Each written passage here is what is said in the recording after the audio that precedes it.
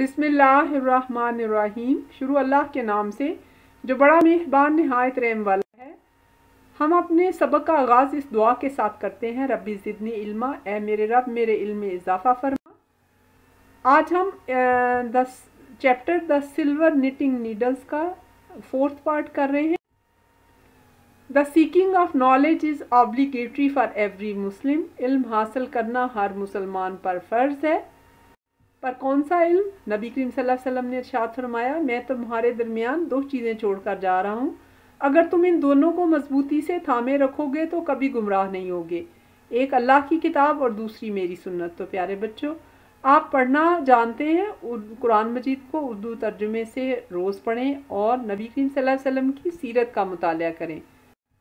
वो ज़माने में मोज़ थे, मुसलमान होकर और तुम ख्वार हुए, तारक कुरान होकर। ये लामा इकबाल का कहना है, हमारे कौमी शायर हैं। तो प्यारे बच्चों, कुरान मजीद को अगर हम मुआज़ इज़्ज़त चाहते हैं तो फिर हमें अल्लाह की तरफ़ पलटना होगा और अल्लाह को जानने के लिए कुरान मजीद का पढ़ना बहुत ज़रूरी है। Sana could not believe she had just wrongly accused her six year old brother wrongly कहते हैं, गलत तरीके से बिलीव कहते हैं। यकीन करना और एक्यूज किसी पर इल्ज़ाम लगाना। अगर हम इसका बामहावरा तर्जुमा करें तो यूँ आएगा, सना को यकीन नहीं आया कि उसने अपने छः साल भाई पर गलती का इल्ज़ाम लगाया है। She had to choose choose कहते हैं इंतखब करना। Between a painful truth, painful कहते हैं, दर्द वाला ट्रुथ सच्चाई को and an easy lie easy कहते हैं, आसानी लाई कहते हैं, झूठ को and she had chosen to lie अगर हम इसका तर्जमा करें तो ये यूँ आएगा, उसे एक तकलीफ़ दे हकीकत और आसान झूठ के दरमियान इंतखब करना पड़ा और उसने झूठ बोलने का इंतखब किया था। यानी उसने सुइयों के गुम होने का इल्ज़ाम अपने छोटे भाई पर लगा दिया था। She saw dadi go to Ali and scold him for his behaviour उसने देखा कि दादी गई हैं और उन्होंने अली को डांटा है उसके इस रवैये पर। स्कोल्ड कहते हैं डांटने को और बिहेवियर सलूक यानी अली, दादी समझ रही थी कि अली ने चोरी की है, इसलिए उन्होंने उसको डांटा। The little boy was confused confused कहते हैं उलझा हुआ क्लियर ना होना। छोटा बच्चा जो है वो उलझा हुआ था, क्योंकि उसने तो सिलाइयों के मतलब कुछ नहीं जानता था तो उसे समझ नहीं आ रही थी कि दादी ने उसे क्यों डांटा है। No matter what he said dadi would not listen she was sure it was his fault since Sana said so no matter कोई बात नहीं, वो कुछ भी कहता, दादी ने उसे नहीं सुनना था, क्योंकि दादी को यकीन था कि ये उसी की गलती है, क्योंकि सना ने ऐसा कहा था। कोई बात नहीं, वो कुछ भी कहे, दादी नहीं सुनेगी। वो यकीनन इसकी ही गलती समझेंगी, क्योंकि सना ने कहा था। Sana felt extremely guilty for putting her younger brother into trouble extreme कहते हैं इंतहाई दर्जे की गिल्टी गुनागार या शर्मसारी, और ट्रबल कहते हैं मुश्किल में डालने को। सना ने अपने छोटे भाई को परेशानी में डालने पर अपने आप को इंतहाई गुनागार समझ रही थी।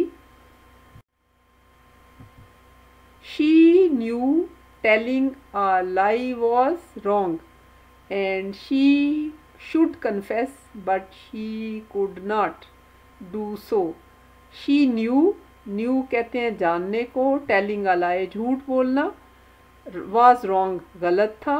शी शुड कन्फेस उसे एतराफ़ कर लेना चाहिए था अपनी गलती का, लेकिन उसने ऐसा नहीं किया। वो जानती थी कि झूठ बोलना गलत है और उसे इतराफ़ करना चाहिए, लेकिन वो ऐसा नहीं कर सकी। Early the next morning the bell rang before it was time for Sana to catch the bus bell rang घंटी बजी घर की, जबकि सना बस को पकड़ती थी। अगली सुबह सना के बस को पकड़ने का वक्त आने से पहले ही घंटी बजी।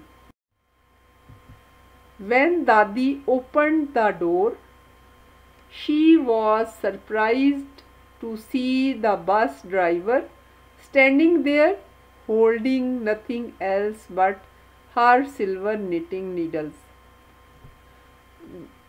surprise हैरत सदा रह जाना होल्डिंग कहते हैं पकड़ने को। तो जब दादी ने दरवाज़ा खोला तो वो हैरत ज़दा रह गई कि ड्राइवर वहाँ खड़ा था, उसकी चांदी की, बुनाई की सुइयाँ पकड़े हुए। The driver said Sana had for forgotten them on her seat yesterday and he had come to return them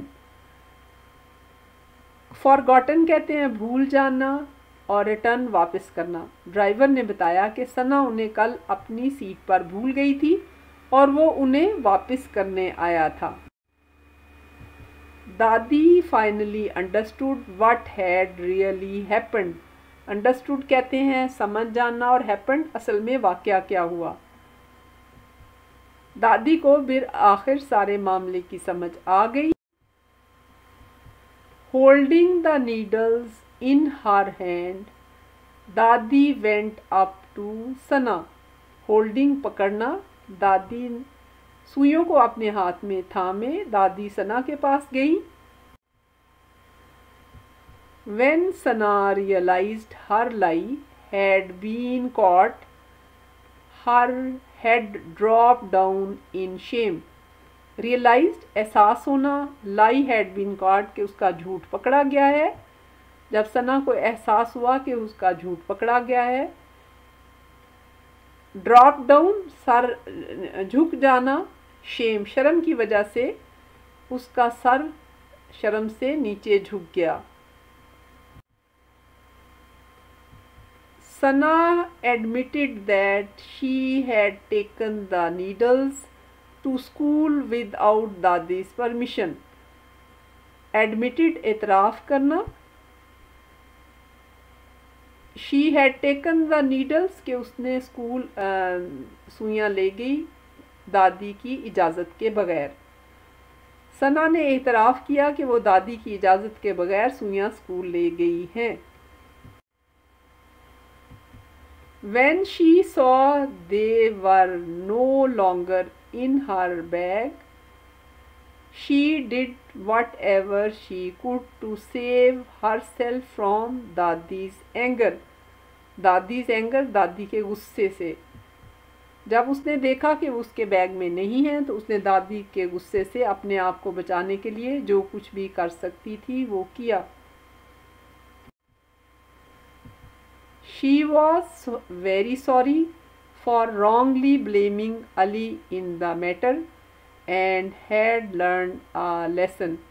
Sorry, अफसोस करना wrongly blaming गलत इल्ज़ाम लगाया और लर्न अ लेसन उसने सबक सीखा उसे अली पर गलत इल्ज़ाम लगाने पर बहुत अफसोस हुआ लेकिन उसने उससे सबक सीखा प्यारे बच्चों कभी भी किसी के ऊपर झूठा इल्ज़ाम नहीं लगाते। नबी करीम सल्लल्लाहु अलैहि वसल्लम की एक हदीस है।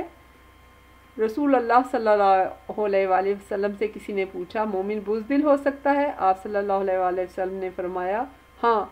फिर पूछा, क्या मोमिन बखील हो सकता है? आप सल्लल्लाहु अलैहि वसल्लम ने फरमाया हाँ। फिर पूछा, क्या मोमिन झूठा हो सकता है? आप सल्लल्लाहु अलैहि वसल्लम ने फरमाया, नहीं। हमें अपनी ज़िंदगी से झूठ को निकाल देना चाहिए, क्योंकि हम अच्छी तरह जानते हैं, जब हम झूठ बोल रहे होते हैं और जो हमारे दिल में होता है वो मेरा और आपका रब जानता है। तो अब हम देखते हैं अगले सबक में हम देखेंगे कि सना ने क्या सबक सीखा। उम्मीद है आपको सबक पसंद आया होगा। इस चैनल को सब्सक्राइब करें, इस वीडियो को लाइक और शेयर करें।